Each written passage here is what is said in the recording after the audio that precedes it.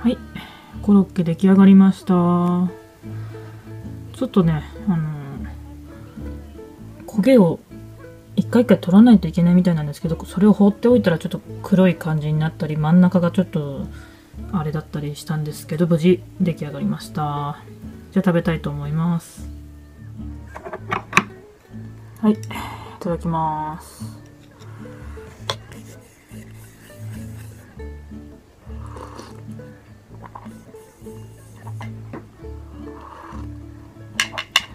レトルトの豚汁です。ちょっとねだんだん見ててこれ私が作ったこのコロッケでかいんじゃないかなって途中で気づき始めましてちょっと揚げるのが難儀でしたね。人生初のコロッケです。ちょっと崩れちゃう。いただきます。うーん。芋。うん。まあちょっと味薄い。もうちょっと塩必要なのか。結構入れたつもりだったんだけど。うーん。美味しい。あのちょっとだけあのげんこつローソンのげんこつコロッケをあの目標としてすっごい黒胡椒入れたんですけど全然パンチ効いてないですねもっと入れないとなんだうーんうまい。うん。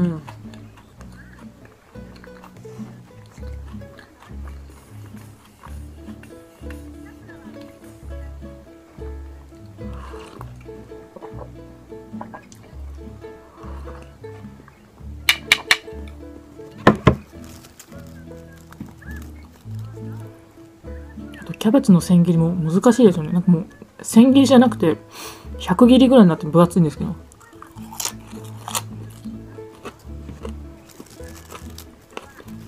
でもこれはこれでキャベツの味がすごいしてうまい。中はこんな感じですね。結構肉たっぷりめに結果としてなりました。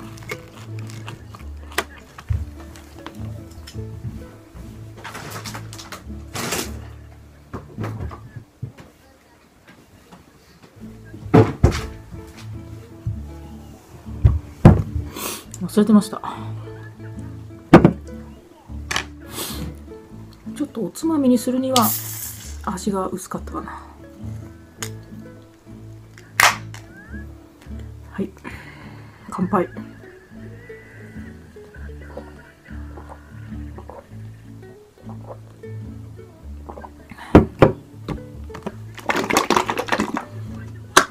ソース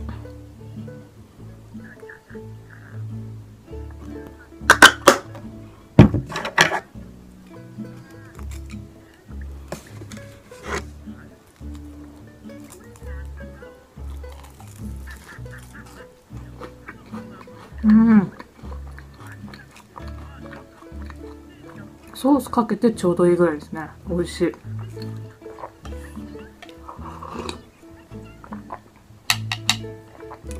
うん。美味しいです。というわけで、えー初めてコロッケを作ってみたよという動画でした。じゃあまた。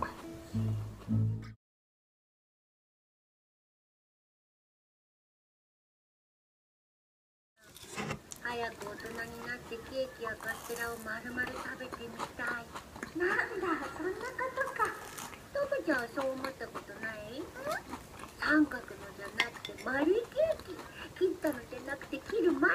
手が。うん、うん、その気持ちわかるよ。でしょ